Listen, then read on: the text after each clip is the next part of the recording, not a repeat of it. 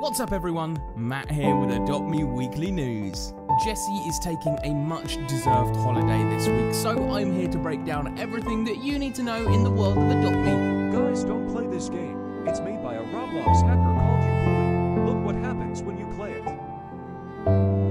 After I died, my avatar changed into this.